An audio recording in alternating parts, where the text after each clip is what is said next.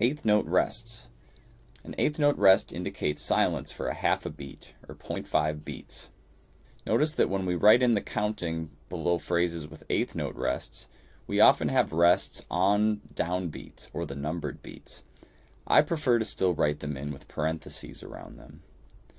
Write out the counting for the rest of these lines.